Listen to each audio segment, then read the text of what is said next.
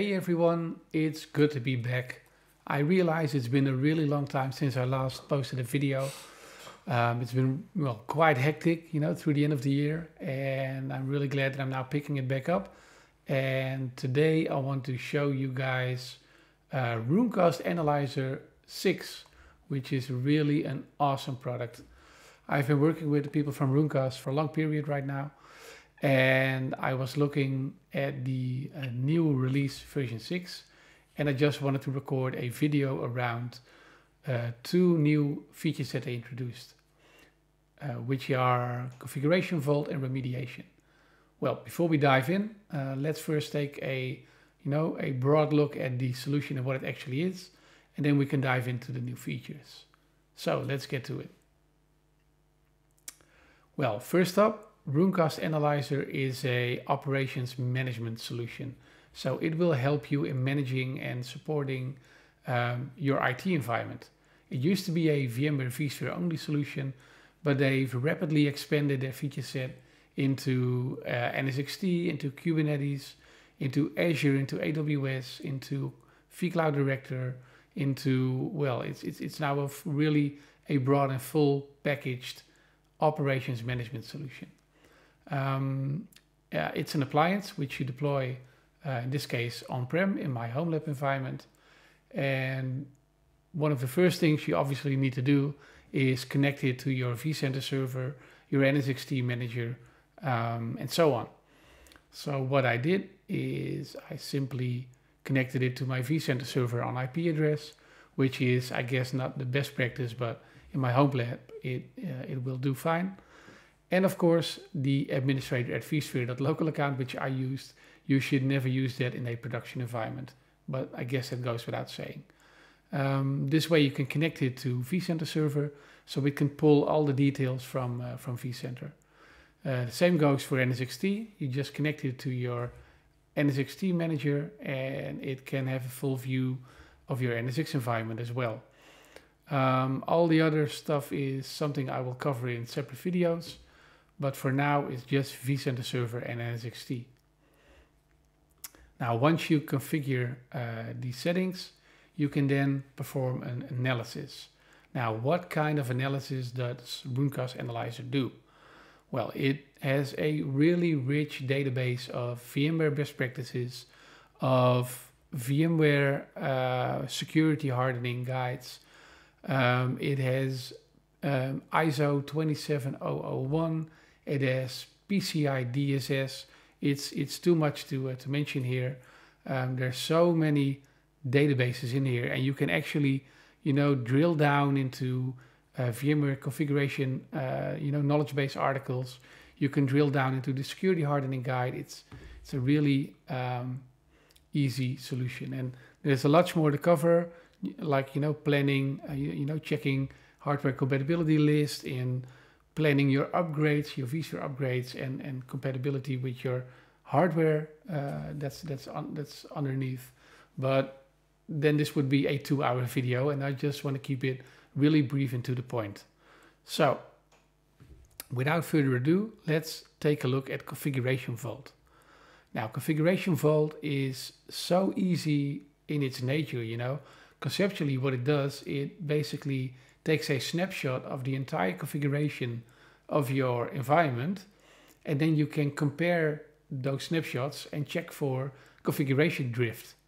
Um, you know, the, the vSphere client, this is a, uh, you know, an imperative way of managing an infrastructure and it's prone to errors. You know, let's say, for example, that I'm going to make a change in the environment and I'm making a mistake. So I'm now looking at my distributed port groups. I have a port group selected and I accidentally change this VLAN ID, for example, or I change the MTU size of the distributed switch or any configuration which is not um, done correctly, I can now check that in my uh, configuration vault and do a, a drift analysis. And this is especially important, you know, when you're working in a team and managing an environment. You know, if I did this properly, I would, you know, log a change in our uh, in our system, Um, but you know, as we all know, uh, things happen to break uh, when people don't do changes correctly and don't log them correctly. So if I did this change, you know, Friday afternoon, four o'clock, and my colleague, you know, gets in the office on Monday, uh, and he realizes that, you know, uh, my TKG cluster cannot communicate properly, then he would have a hard time finding, you know, is there, you know, has there been a change? Is did something break, uh, you know, outside of the VMware environment? With this solution, you can now really easily, um, you know, check for drift. So, you know, if I, you know, if there's a network uh, issue, I would probably look at the virtual switches or port groups. But let's say I look at the uh, um, at the port groups first. I want to check for historical drift. And I need to make sure that I select the uh, the correct baseline and the correct uh, yeah and the collect uh, and the, the correct uh, analysis and you know the timestamp. And here you can see that I have 13 uh, port groups which were not changed, so they were unchanged, and one of them was changed. So, and I've been playing a bit here in my um, in my home lab, so I'm not 100% sure if I selected the right analysis, but you get the idea. I can now see that there is a change has been made on the VLAN ID. And if I drill down on the change, I can see that the baseline used to be VLAN 20 and the TKG workload port group ID or VLAN ID uh, on, uh, on uh, you know, after the last analysis is 21. So now it's super easy to find the, um, the root cause for this issue and go back and correct this error.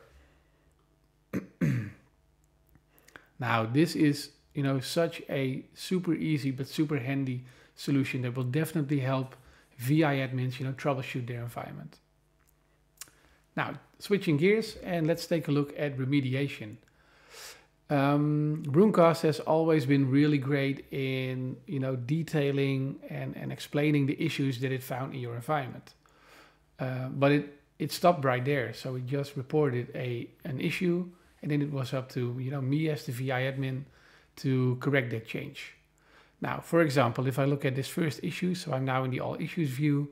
If I look at this first issue, which is a an NTP time sync issue, if I drill down on this uh, on this specific uh, issue, I can see that there is a misconfiguration again, and I'm not uh, and I don't have an, an, NTP server configured correctly.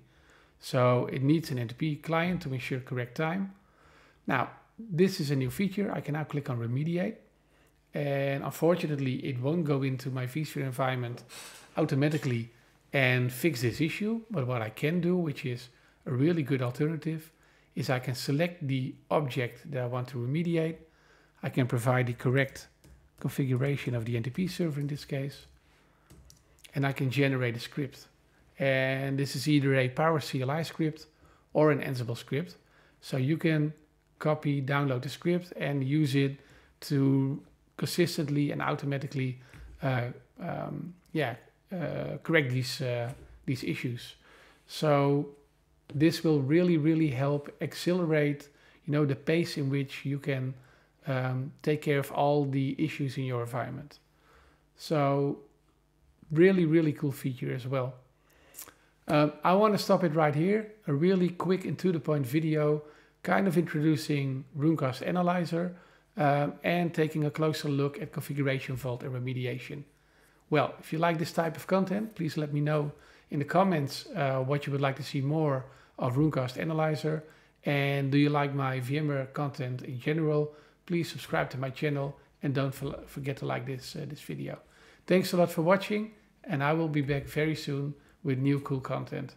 Thank you for watching.